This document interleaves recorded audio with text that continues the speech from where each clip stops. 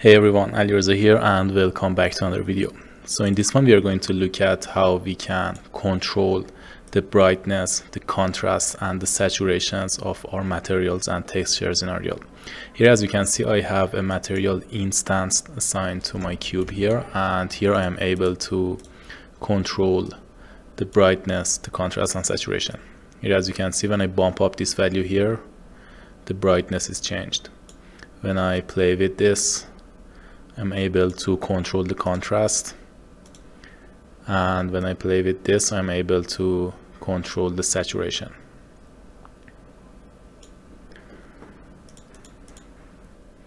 Alright now let's see how we can set this up. Here I have a texture that I'm gonna use for my albedo in my material and I uh, grabbed it from the Quixel Megascans assets Next, I have a master material and then I have a material instance from that master.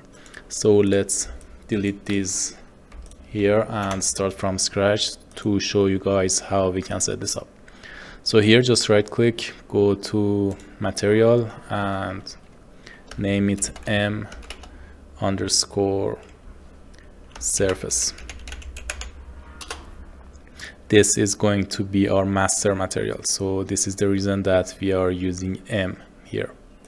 For our material instance we will use mi so here i open up your master and then drag off this tile here and plug it into the base color.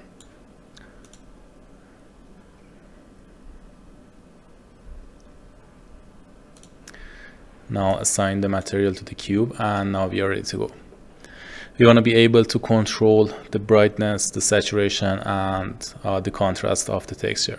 First of all, you can just open up your texture here and play with these values here. You can see that we have brightness here. So for example, if you put it on two or three, you can see that it changes the brightness.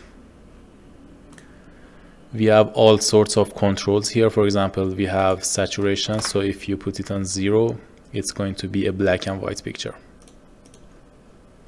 But the thing here is that if we use this method and change the properties of the texture itself, it will affect all the materials that are using this texture. So it's better to not play with these values here and change the properties in our material.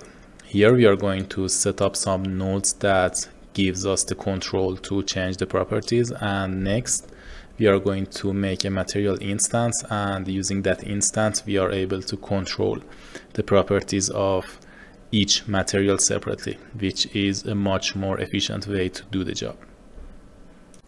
For the brightness we need a multiply node. So drag off a wire search for multiply and then for the b value hold 1 on your keyboard add a constant and plug it in the default value should be 1 so it's multiplied by 1 and it won't change.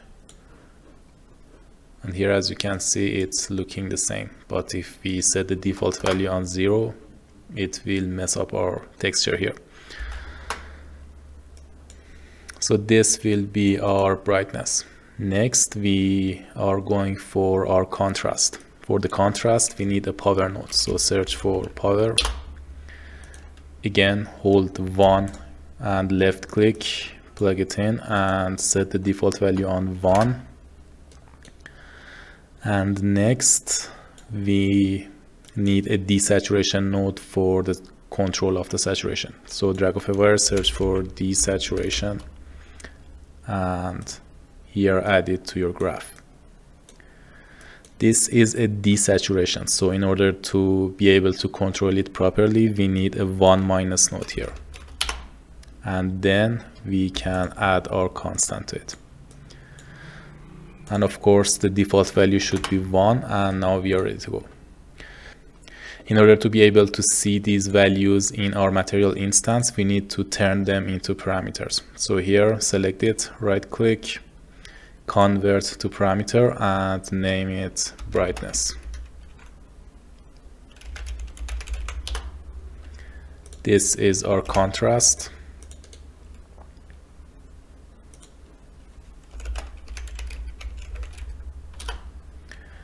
And this is our saturation.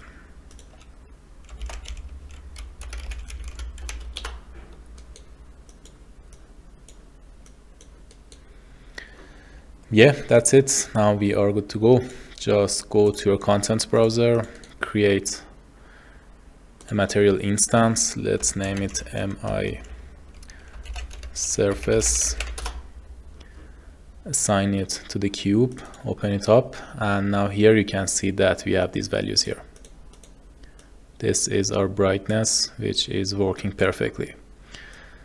This is our contrast and this is our saturation.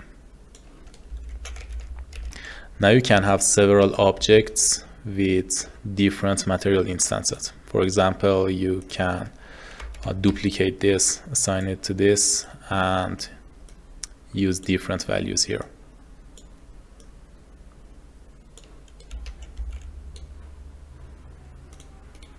Again, duplicate, assign this, and this time go with something like this.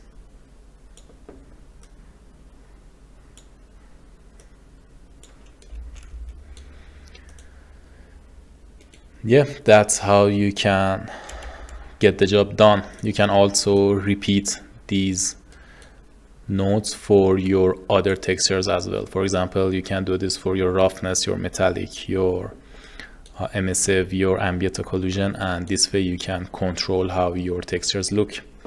Thank you guys for watching and if you enjoyed this video and learned something new please leave a thumbs up and subscribe to the channel. See you in the next one